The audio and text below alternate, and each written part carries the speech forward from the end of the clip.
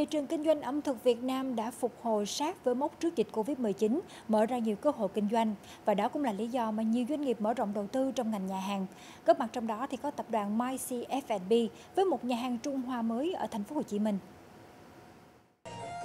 Tọa lạc trên có đường ẩm thực Phan Xích Long, nhà hàng May Dynasty đi vào hoạt động với mong muốn giới thiệu đến thực khách Việt các món ăn mang đậm hương sắc Hồng Kông, một nét đặc trưng riêng biệt trong ẩm thực Trung Hoa.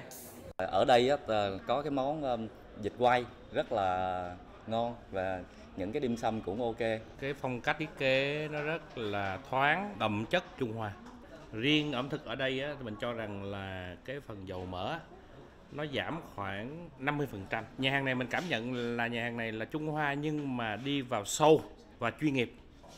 Với hơn một thập kỷ hoạt động trong lĩnh vực ẩm thực, Macy F&B không chỉ mở chuỗi nhà hàng boomerang tại thành phố Hồ Chí Minh mà còn vươn rộng đến thị trường Singapore. Tiêu chí hàng đầu là luôn tôn trọng hương vị nguyên bản, tạo nên các món ăn ngon, tốt cho sức khỏe và được thưởng thức trong một không gian đẹp. Tôi đã từng mở nhà hàng ở rất nhiều nơi như Singapore, Hồng Kông, Trung Quốc, Malaysia. Ở đâu thì nguyên liệu cũng là quan trọng nhất.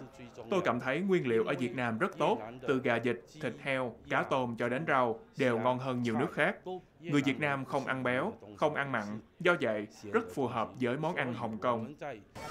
May Dynasty cũng phát triển ứng dụng bán hàng giúp thực khách dễ dàng có món ăn ngon mà không phải đi xa.